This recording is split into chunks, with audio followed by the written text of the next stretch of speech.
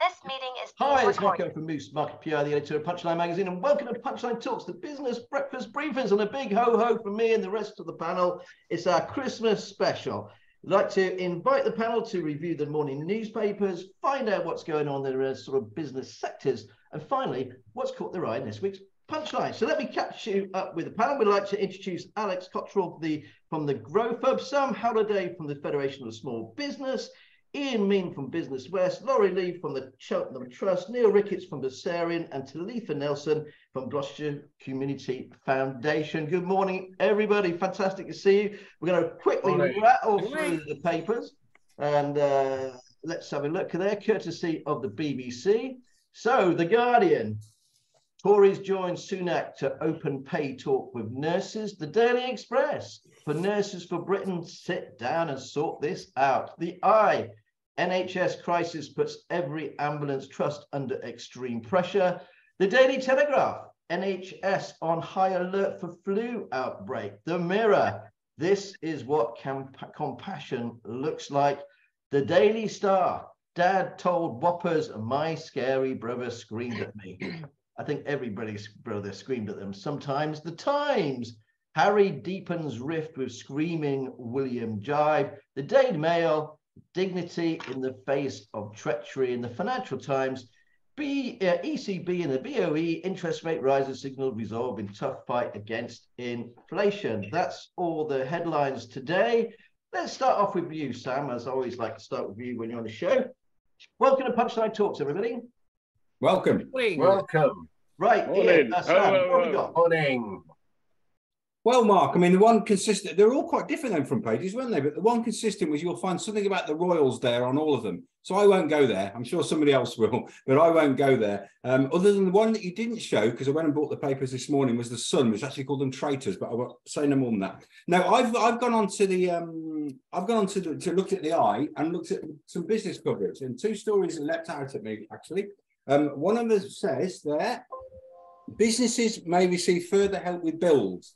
Now, this is something we at the FSB have been calling for because you may know that um, businesses are going to get energy support until the end of um, March. So from the 1st of April, they were originally going to be on their own. Well, they're now talking about extending that, not just to sort of a small group of businesses, as was originally thought, but to all businesses. And that will be very good news, I think, because um, there's no good getting through what could be one of the worst winters many businesses have ever faced to then suddenly find in April you're not going to get support with utility bills and it's all going to be crashing down again. So that was good news. Less good news is on the other side um, about mortgages. Now, I speak to as somebody that's house has been on the market twice this year, and twice um, the people had bought it, pulled out because when they went to collect their mortgage, the rates had gone up. The second one was right in the middle of Liz Truss's um, campaign, which I now I hereby declare as somebody that's been interested in politics since I could read, basically, um, is the worst prime minister, left, right, or centre this country's ever had. And the damage she did. Forget about me selling my house, that was irrelevant. But, you know, the damage is going to go on for a long time. And that figure's frightening. So people like me that are on a tracker, and the reason we were on a tracker was because we thought we were going to be selling, so we didn't have to worry too much about it, are getting punished every month. If the postal strike isn't on next week, I will get a letter from HSBC saying how much more my mortgage is going to be in January. They've written to me so many times this year, it's ridiculous. And it's just not funny. I mean, I, I, my mortgage isn't massive at the moment in terms of uh, how much I've got left to pay, but the average person could face £500 increases.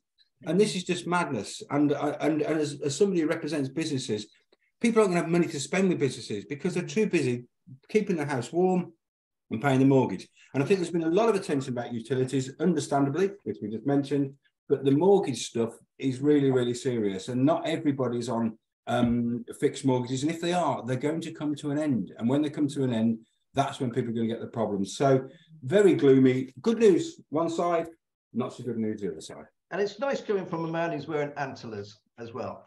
It, it, it's hard for me to take myself seriously, let alone anyone else, but we're going to do it. It was well put, well put. Well, thank you very much for that, Sam. Totally agree. Let's go to you, Alex. Hi there. Good morning. Great to have you on the show. Good What morning. picked out for us? well, I was having a look at the papers, and as Sam, there appeared to be a vast selection of doom and gloom, chucked in with a bit of Harry and Meghan. Um, so I'm avoiding all of that. Um, and the story that I picked up this morning was actually on the BBC, and it's talking about the fact that um, Black Friday fails to boost retail sales. Um, and obviously, what's happened is the, the numbers have come back in from the, the retail activity with Black Friday, where it's basically saying that in terms of sort of standard retail gifts and that sort of thing, um, sort of sales expected fell well below what was you know fell short of what was expected however that sales of food and mm. drink um, sort of looked more positive and i just think there's a couple of things there obviously i sort of stand here representing business if you like there is a very clear element of uncertainty, you know, that, that I think will have had a massive impact on this in terms of people trying to really, really have to think about where to put their spend. You know, do we spend it, or we splurge on the gifts, or do we do we spend it on the basics in terms of the food? I took quite a positive spin from that, insofar as I think, you know, certainly from my side, and I think as as well throughout, people are seeing the quality and you know the benefit of just time with family you know, more so than who needs another pair of socks. Um, so I took a positive from that in that people are still spending spending on the food. I do also think that as consumers, we have now also got used to the fact that we know on Christmas Eve prices are going to fall through the floor. So I just question whether things like Black Friday hold the appeal that they used to have because there seem to be sales going on constantly. But I just thought it was an interesting story because I think it is reflected in what's going on in the world of business as well. Um, you know, there is so much uncertainty. The things that it's almost like the only certainty is the fact that nothing's certain um, especially when it comes to you know interest rates energy prices supply chain problems all of that sort of stuff. So what we've sort of seen at the growth hubs is you know still fantastic levels of engagement with businesses um, but kind of a lack of short-term planning if, if mm. that's if that's an appropriate thing to say. You know you might be able to say okay well that's to do with the fact that we're coming up to the end of the year but for a lot of businesses you know this is this is kind of budget time now. In fact we're probably post budget time. You know people are looking at what their their spend profiles are going to be for next year but there just seems to be a bit of a sit and wait and okay well let's just get through christmas and let's see what we look like on the other side of january because it is basically impossible to forecast at the moment and i kind of think that's also being seen in the consumer world the one thing i would say though is that as much as we're hearing lots of doom and gloom stories about profits and all of that sort of stuff there are some real winners in all of this as well. I think it was H and M. I think I saw you know have had um have had a profit yeah. increase and you know they do what they do and they do it brilliantly. You know they never purport to be quality. Um you know they are have got on a massive drive for sustainability. Um you know it is relatively fast fashion but slightly more ethical. So i think they're a really good example amongst other sort of local independents as well of of where service customer experience and agility um, are the kind of watchwords for success and survival at the moment. So i think whilst the story itself about Black Friday sales potentially looks quite negative, I think there's a good part in that, which is about the fact that people are still spending on food and obviously the experience of spending time with family and friends and stuff like that. Plus the fact there are some winners out there as well.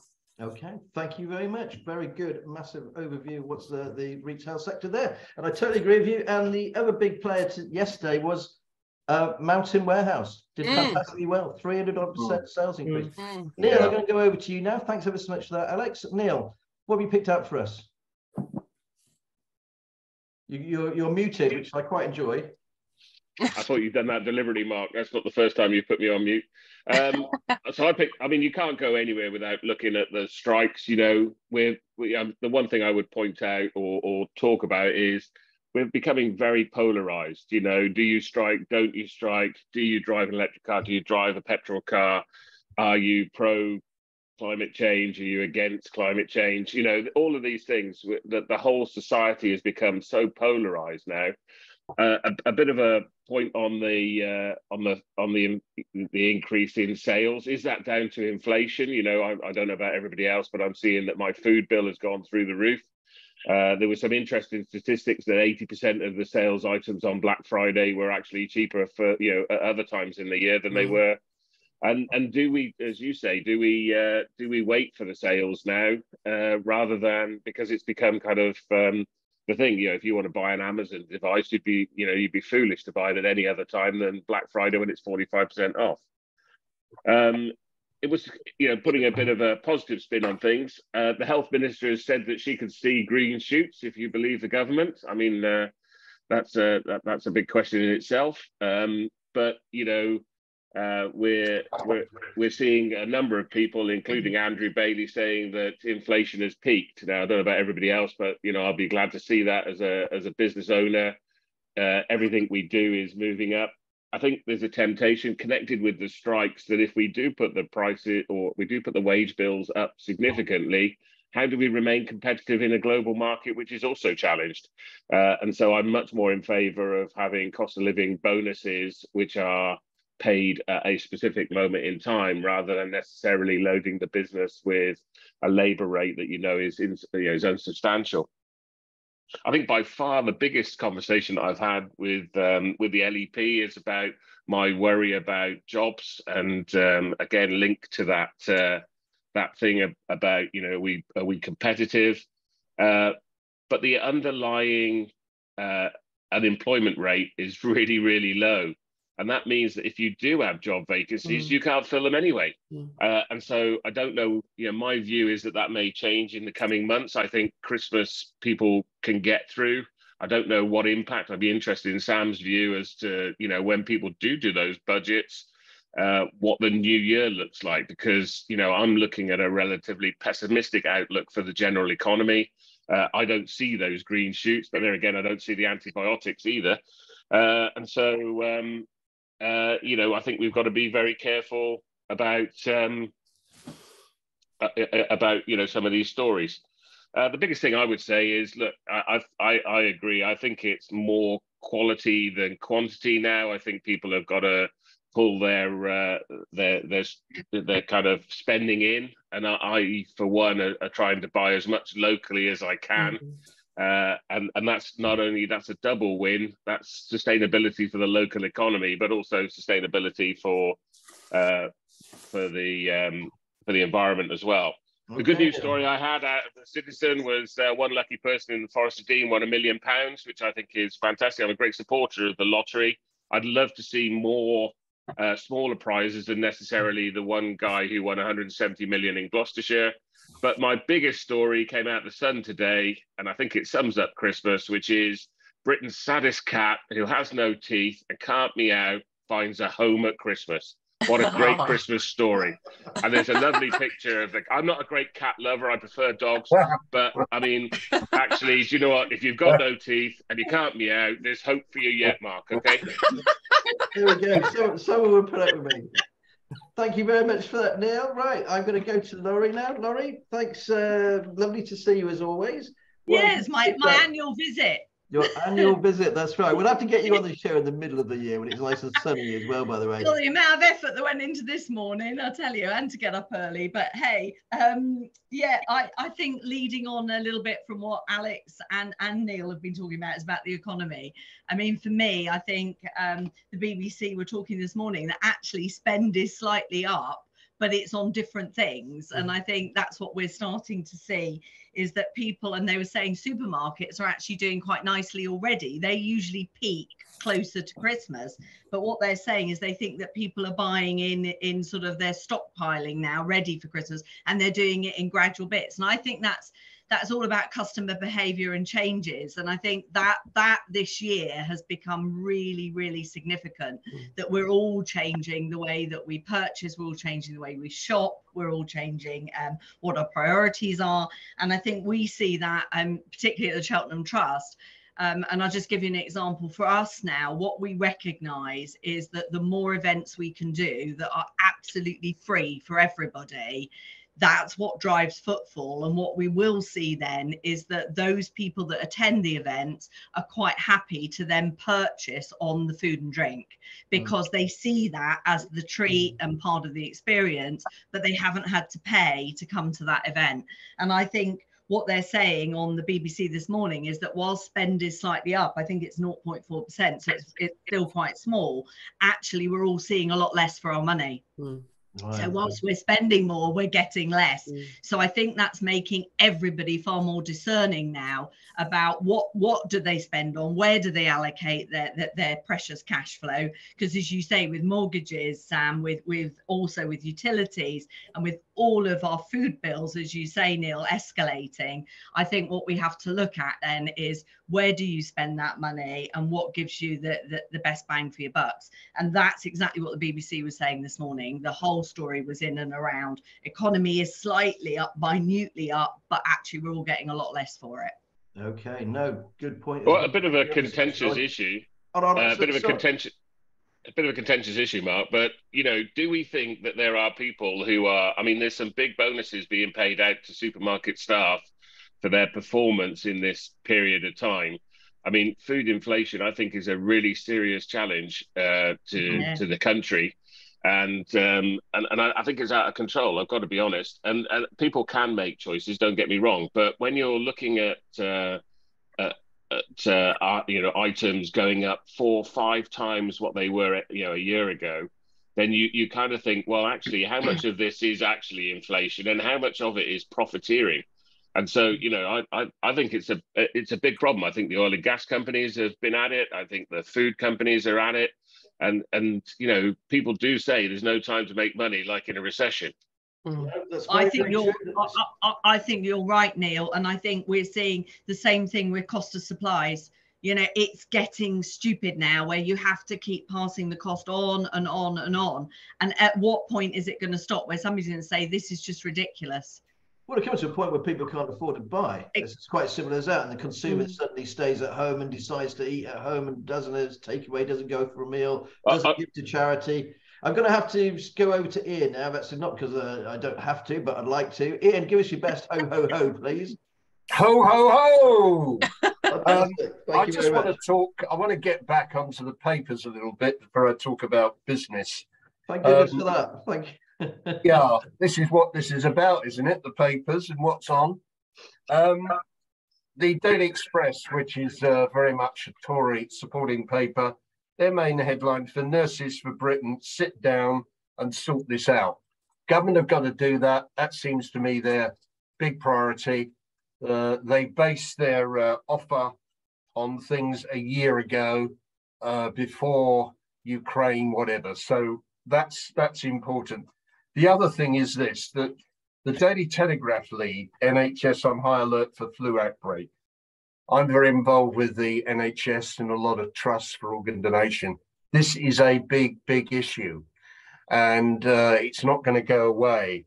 Uh, my wife has been quite ill for a few weeks now. Uh, you go to the pharmacist, they say, "Oh, take paracetamol, do this." You ring the doctor, same sort of thing. There's a lot of this going on, and lots of people are uh, are getting quite ill. Um, my old paper, the Daily Mail, uh, to type has done 17 pages on Harry and Meghan. If you just want to sort of go through all that, uh, but their headline: "Dignity in the face of treachery."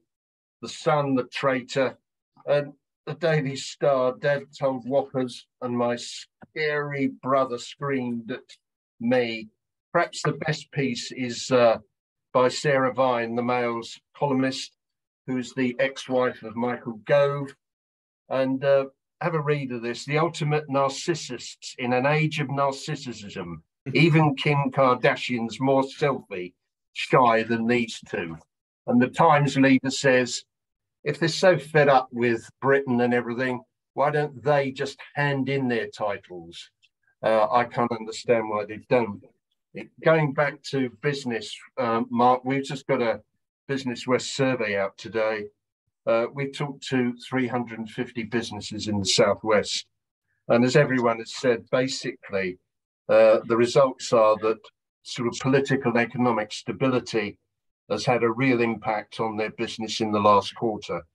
Uh, we see this continuing into the new year. I think it's going to be a very tough year. We've talked about energy. Big crucial time is April when the government are saying they're going to help vulnerable business businesses. What's a vulnerable business? You know, Every I think that's uh, that, that's going to be important. Um, few sort of light things. Love the Sun story about the uh, penguin that's turned up in Margate. Now, it may have come out of a local zoo, but it's a bit parky, says the Sun. And we've got couple of quite big things this weekend. We've got the World Cup final, and uh, with my wife be interested, Strictly Come Dancing final. Mm. So they're all in the mix. Okay, well, thanks very much. A good old roundup of the papers there. Thanks ever so much for you, Ian. Thank you.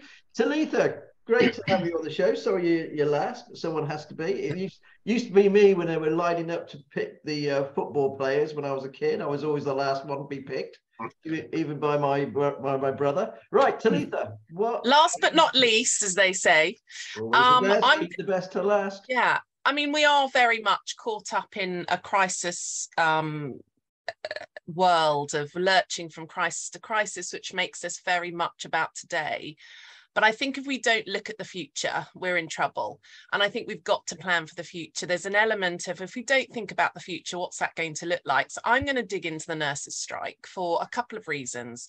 One, it's the first strike they've had in a century. Mm. And whatever your beliefs are, whether they walk out and feel like people are going to be um, not looked after at this time of year is really terrible. But I think there's a point to be made. Our NHS is one of the most amazing things in this country.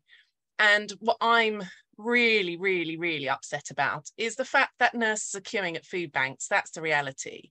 So, what is the value on the price of somebody and what they do? That's the problem we have. Why are we paying a nurse when they start at 25 to 27,000 when they can't actually pay off their 70,000 pound student loan and they can't actually afford to heat their homes and feed people and then they go in and do an 80 hour shift a week to try and pay the bills and save people. This to me is absolutely ridiculous. The hmm. state we're in about who we pay what to and what value we hmm. have.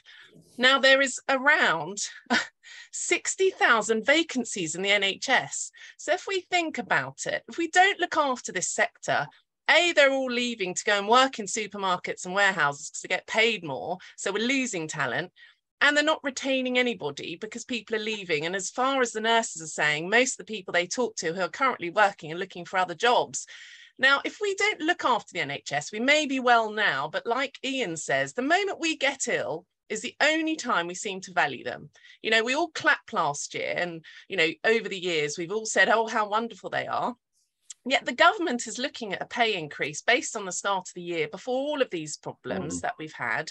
So, if in real terms, we've got 7.2 million people on a waiting list. That's huge. Do you imagine the pressure? So, these nurses are saying there's supposed to be four people on a ward for 28 patients and they're down to two people. Mm. and they're leaving people li- li- lying in their own waste. They can't clean their teeth.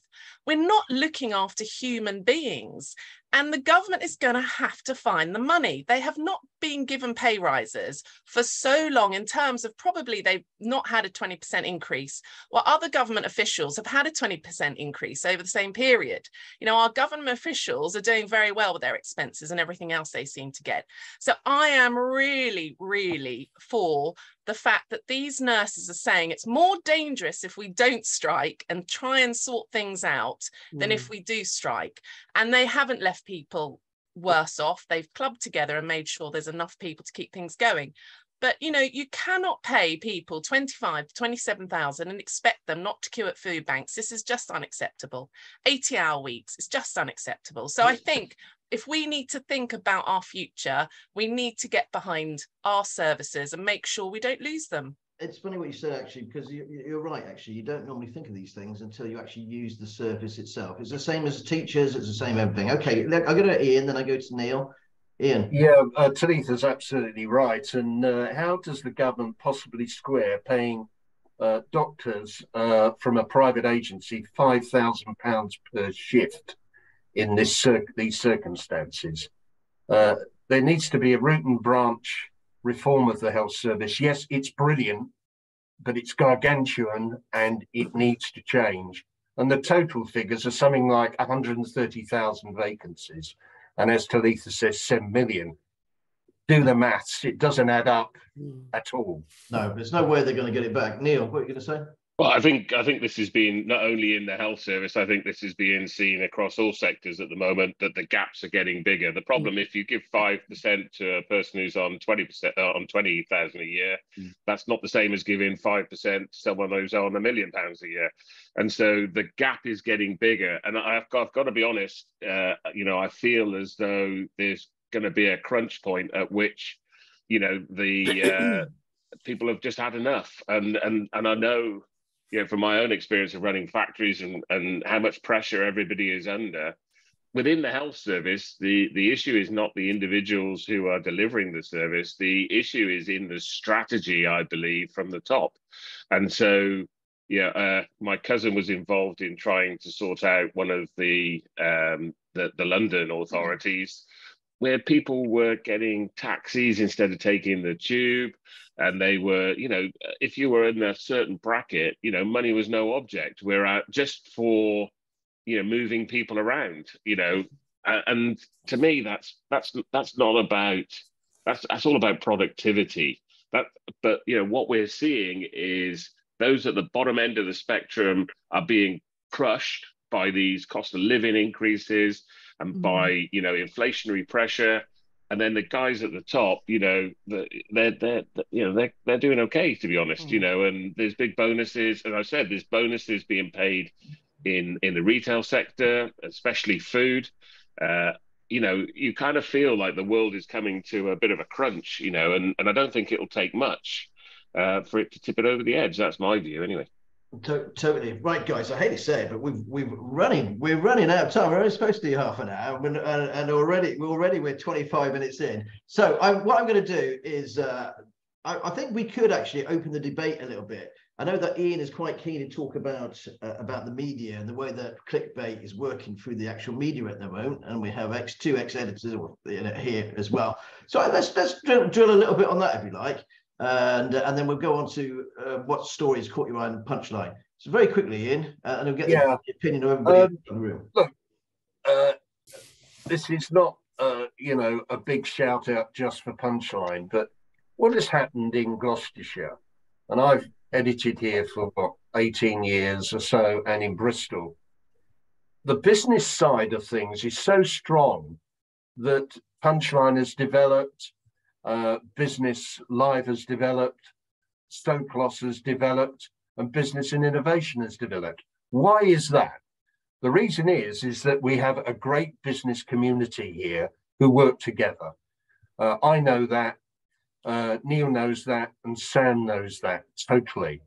So, what gets me though is that the print side of things, when they do publish, uh, they don't look at issues. Uh, I'm afraid uh, a lot of it is clickbait, but this is really a big shout out for the business community. You know, I've been judging the business main business awards here for about 17 years. We had the best entries this year and you came to that mark than we've ever had. Lots of great startup businesses. So my my thing is this: that business is alive and kicking. Communication is really good. People like Punchline are really important, and we've got to keep at it. Okay, all right. Thank you, thank you very much. Anybody want to add to that at all?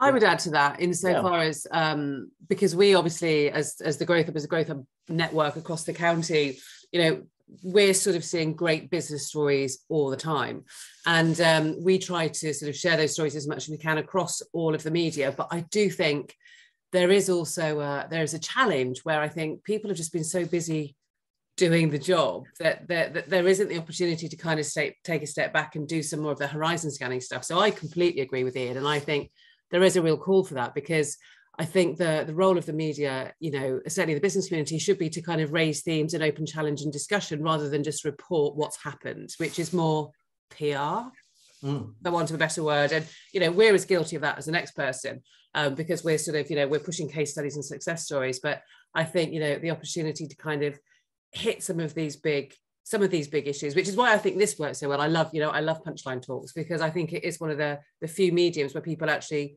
get to just go off piste, you know, and not not be too scripted and actually talk about some key trends and themes. Um, I would say we have quite a heavy media presence for a relatively small county. Um, so I do think one of the challenges is for for each of those sort of you know editorial channels to find new and different ways of saying stuff. Mm. I think sometimes you know we do see the same stories and very often you see the same sort of local heroes and the local pieces and it's to do with the power that they've got behind them in terms of getting those stories out but i would take my hat off and say that i also think we've got really proactive editors you know that are trying their best to come out and, and dig stories out but i hope you know i think going back to, to letha's point really i think you know, if we can get into the new year and have a situation where we can actually take a step back, take a breath, and just do a bit more horizon scanning. I think we've all been forced down a road where we're so tactical. You know, mm. we're so busy just kind of getting to the end of the day and the next day and the next day that I think, you know, hopefully, hopefully next year is when we'll see some of these changes happen. Okay, we're going to go to Laurie, then Sam, and then Talitha. But that's the order that just popped up your hand. So very quickly, guys. Yep. Okay. I just want to say that um, I think that Punchline, I'm going to be honest and um, say this I think media's changed a lot, particularly over recent years. I think it's shifted away from what I, I would recall as the old traditional journalism where where businesses and public bodies were held to account and actually i think mark you're probably the only one in gloucester that that that does that at local level quite so much where you get underneath stories. Mm. I think there's an awful lot of just cut and paste from businesses into without any journalism or delving and i think you do yeah. do that and i think we we need that because we need to know that if there are things that aren't quite right who's actually holding who to account. And and for me journalism was always about that. Mm. i spent many many years i mean most of my life in local government as as the director of communications. And i found media were you know were were my lifeblood because that's what what i was every single day taking calls and calls and calls from journalists and good journalists that were really probing and trying to get underneath why we hadn't done something or why we had done something. Whereas now that seems it, it has gone. And i think punchline i will hold hold my hand up to you that i think you still do that. And some of the stories when we come on to that from this week i think you've got underneath some of the issues that we all knew were there and bubbling but you've got them well, that's very kind of you. Thanks very much. And I know which story you're alluding to there as well. Which yeah. Sam, over to you then, Talitha, and we'll go quickly through the story of the weeks from all. Yeah, yeah, very briefly because I think Ian Ian summed it up perfectly, and we all have really. I mean, I, I think it, it's interesting because Ian and I were both newspaper editors, different parts of the country, sometimes close mm. together. But um, people used to think we used to knock our communities. There's nothing further yeah. from the truth. We were most passionate people about our communities you can imagine and we wanted them to succeed. So I think the media work that we led, uh, which Mark is now leading, is almost there as a critical friend. We want to make this this community as good as it can possibly be, and in this case, it's a business community as strong as it can possibly be. But that doesn't mean you gloss over the what's bad happening. I remember as an editor once having, and Ian will have had this many times, people saying, "Why didn't you ever print good news?" And I went through the paper and identified like probably three quarters of it was good news, but what they considered bad news wasn't bad news. It was news. Mm. If, if, somebody's been knocked mm. over in the street, that is bad news. But it, we can't pretend it hasn't happened because then you you're glossing and making things artificial. And that, as Alex I think said, was is PR. Uh, and so there's an important role to be played for the media. But the media has changed. The, the very fact that Alex said that this is a really important source of business debate. This wouldn't have happened five years ago. You know, it shows that the media has changed and we've got to change with it. But the best media, I always think, is a, critical friend, someone that believes as passionately as anyone in their community, but isn't scared to say, hang on, we can do things better. Mm-hmm. And Mark, you do an amazing job. Full stop. Well, that's very kind. I'm not always the most popular person in the room, which sometimes... you shouldn't have to be, but you will be sometimes. so just quickly, just to sum up, Yes, just to sum up media wise, I think the third sector had been very overlooked pre pandemic and really didn't get mm-hmm. any airspace. And I don't think anyone really saw the value. I mean, we're still very overlooked, but, but it's got better. And I think what's pointed me in a direction of communicating with all the outlets. Mark's been number one, you know, written media, so supportive of the third sector, really representing all sectors. And I think that's so important. But actually, I was really upset to hear the cut that the cuts to our local radio. Mm. BBC Glos has been amazing. And you know, localism is so important. And then the BBC start cutting local radio. I think that's appalling. They do an amazing job.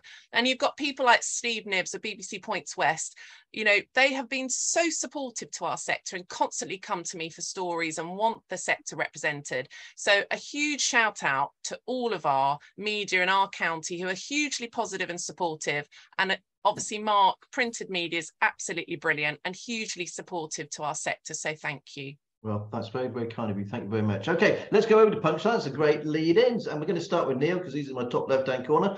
Neill, uh, so um, we're going to have so, a quick roundup. Um, a quick roundup of uh, The story I on was going to go for the punchline, story. Yeah, yeah, yeah. So that's what I was going to do. You did confuse me there with a quick roundup there. You nodded off, didn't you? uh, you the- nodded off. I, I was looking. No, no, no. I was interested in the debate. Actually, I think social media is changing the world uh, quite, Mm. quite dramatically, and I think there'll be a revolution around social media as well. But anyway, uh, we'll we'll leave that, leave that to one side. I mean, the the good news story for me was the university receiving this 5.8 million pounds in order to uh, provide these much needed skills in engineering Mhm. and cyber. You know.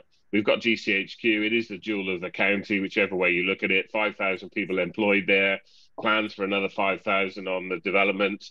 And uh, it's important that we bring these skills into the county. The county will die if we don't see this influx of skills and uh, and enthusiasm that we need. It, it comes back to all the conversations we've had today. You know, communities are built on people, they're built on jobs, and uh, this is a way of providing those skills, which provides uh, the, the companies to grow. Okay, thanks very much for that, Neill. Alex, what have you picked up from this week's punch? Um, obviously, the university story, we, we were very happy about that. Um, I suppose the, the second story as well, which plays back to the conversations we've been having about localism and also, I can't remember who it was, but about shopping local, was the fact that, you know, not the biggest news in the world, but the fact that the, the council are doing free parking in Gloucester to try and help drive footfall into the city, which I just think is bloody brilliant. Um, I think it's, you know, it's an example of something that the council can do, that they have the control over to do, which actually makes a huge difference, you know, not only to the people who are going in to do their shopping, but to all of those businesses, you know, Gloucester City, especially, we've been doing quite a lot of work with, with the council on the future of Gloucester Vision. Um, and I think one of the, you know, one of the things that's come out loud and clear about that is the fact that everyone's very proud of Gloucester. And, you know, everyone can see the opportunity for Gloucester, but there is this real, real problem with the city centre.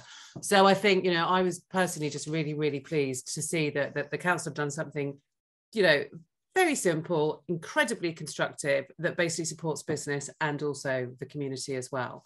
Um, so that was my my win story.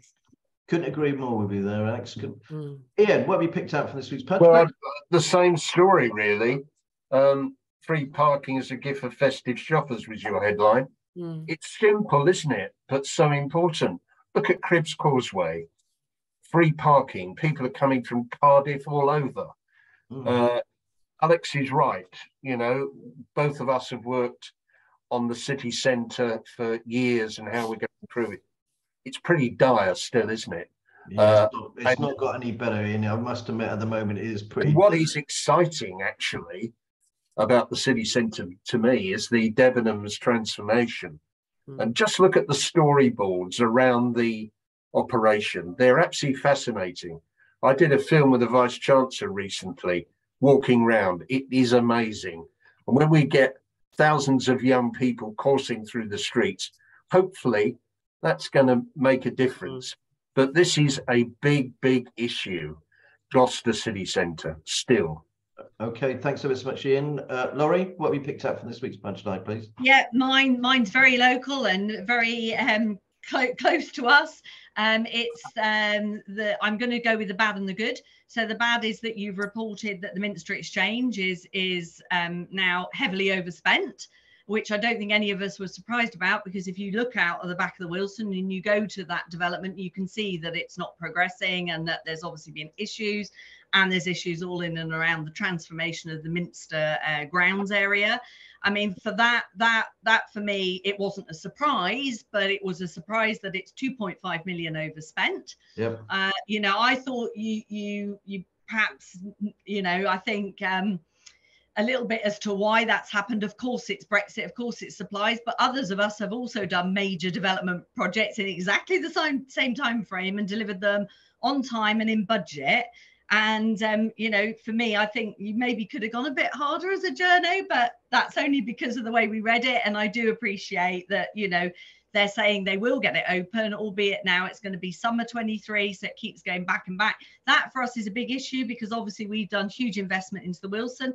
But thank you for, for also doing our good news that we've secured the next tranche of funding from the government and from um, other supporters and including the council have put the last little bit of money in so that we can completely now refurbish the old wing of the building and the wilson is completely transformed or will be within the next 12 months No, so good. yeah bad and good thank you Thank you very much for that. And I'd just like to say that that, that original story came out from a, I've been watching that story for a while. Mm. I kept kicking the can, and they sent a very bland press release out with no detail, no money, and then we put a freedom of information request to Cheltenham Borough Council, and it was amazing how quickly the uh, the uh, should we start saying the, the the sort of chickens and clucking around and all the rest of it. But I was Yeah. very proud that we stuck to the story.